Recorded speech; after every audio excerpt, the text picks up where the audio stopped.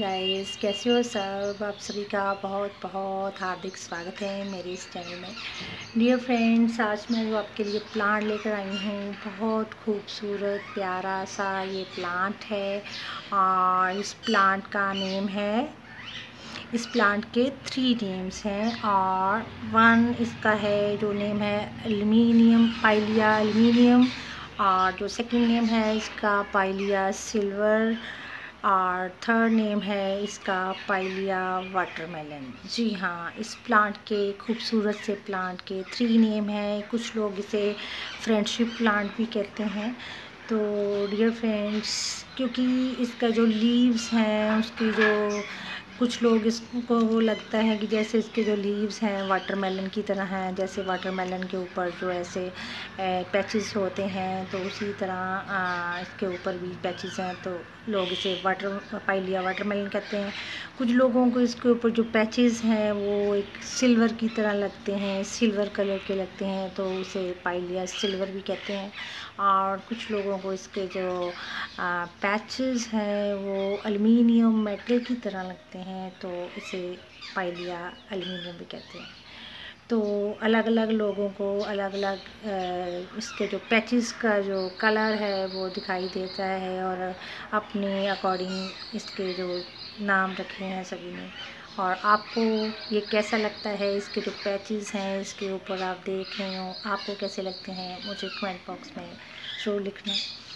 तो ये तो था डियर फ्रेंड्स इसके जो नेम्स के बारे में। तो डियर फ्रेंड्स इससे पहले हम इस प्लांट के बारे में चर्चा करें वीडियो को आगे लेकर जाएँ। आपको मेरी रिक्वेस्ट है कि अगर आपने मेरे इस चैनल को अभी तक सब्सक्राइब नहीं किया तो प्लीज़ मेरे इस चैनल को सब्सक्राइब ज़रूर करें, ताकि टाइम टू टाइम जो आपको मेरा न्यू अपडेट्स है, वो मिलता रहे।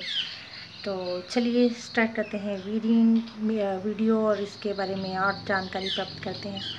डियर फ्रेंड्स जो प्लांट देख रहे हो, मैंने खूबसूरत से जो पॉट में मैंने इसे लगाया है, ये देखो। कितना अच्छा ब्यूटीफुल जो सैरेमिक पॉट है, इसमें ये कितना अच्छा ग्रो कर रहा है डियर फ्रेंड्स ये जो प्लांट है। और इसका जो हाइट आप देख रहे हो, कोई आठ से दस इंचेस का जो हाइट अटेन कर लेता है ये प्लांट और जब इतना हाइट अटेन कर ले तो इसकी जो प्रूनिंग जो है वो करते रहना चाहिए हमें. और डियर फ्रेंड्स इसकी जो प्रूनिंग है वो बहुत ही ज़रूरी है इस प्लांट की जो प्रूनिंग करना. क्योंकि प्रूनिंग के हमें बेनिफिट्स हैं कि एक तो हमें जो न्यू प्लांट्स हैं वो मिल जाते हैं, क्योंकि कटिंग के थ्रू इसका प्रोपगेशन है तो सेकेंड जो इस प्लांट को एक बुशी लुक मिल जाता है, बहुत ही प्यारा बुशी लुक इसका मिल जाता है तो बहुत ही खूबसूरत लगता है, ज़्यादा मल्टीप्लाई करता है। तो इसलिए इसकी जो प्रूनिंग है, वो बहुत ही एसेंशियल है। तो डियर फ्रेंड्स अगर बात करें इसकी जो इस प्लांट की जो सनलाइट रिक्वायरमेंट की है तो इसे आप डायरेक्ट सनलाइट में ना रखें, क्योंकि ये एक इंडोर प्लांट है। तो इसे शेडिड एरिया पसंद है, शेड में रहने वाला जो प्लांट है तो पार्शल सनलाइट आप दे सकते हो इसे ड्यूरिंग द विंटर सीज़न तो डायरेक्ट सनलाइट में ना रखें, इसके जो लीव पड़ने की जो प्रॉब्लम है वो आ जाती है। तो डियर फ्रेंड्स ये तो हुआ सनलाइट रिक्वायरमेंट के बारे में। और इसी तरह जो इसकी जो जितने भी जो इंडोर प्लांट्स होते हैं, हमारे जो हम शेडेड शेड लविंग प्लांट्स होते हैं, उनका जो वाटर रिक्वायरमेंट होता है, वो बहुत ही कम होता है और इनकी रिक्वायरमेंट के अकॉर्डिंग ही इन्हें जो आप वाटरिंग करें।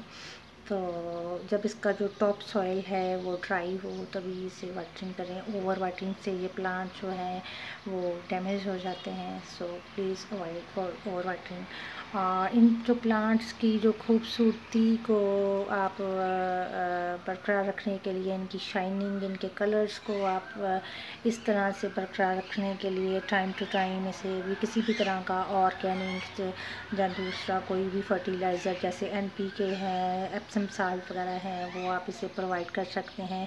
ताकि इसकी जो प्लांट्स की खूबसूरती है, इसके कलर की जो खूबसूरती है, वो बनी रहे। तो और डियर फ्रेंड्स अगर बात करें इंसेक्टिसाइड की तो जितने भी हमारे जो इंडोर प्लांट्स हैं, और उनमें मैंने बहुत ही कम इंसेक्ट अटैक देखे हैं, बिल्कुल नामात्र होते हैं। और फिर भी अगर मैं यही कहती हूँ कि जितने इंडोर प्लांट्स हैं, उनमें अगर आपको कोई इंसेक्ट दिखाई देता है तो उसके ऊपर आप neem oil is the best जो इंसेक्टिसाइड है स्प्रे कर सकते हो आप।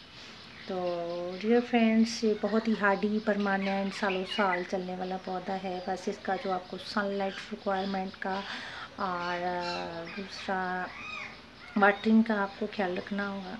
और आप इसे किसी भी स्मॉल से स्मॉल जो पॉट में इसे लगा सकते हो इजीली अच्छा ग्रो कर जाता है। प्रोपेगेशन की बात तो ऑलरेडी हम कर चुके हैं। जैसे प्रूनिंग में ही मैंने आपको बता दिया कि इसका जो प्रोपेगेशन है, वो कटिंग के थ्रू जो इजीली हो जाता है।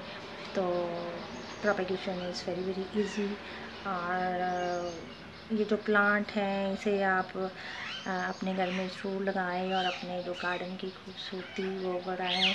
और डियर फ्रेंड्स अगर आपकी कोई क्वेरी हो इसके रिगार्डिंग तो मुझे कमेंट बॉक्स में ज़रूर लिखें और आपको जो मेरा वीडियो कैसा लगा।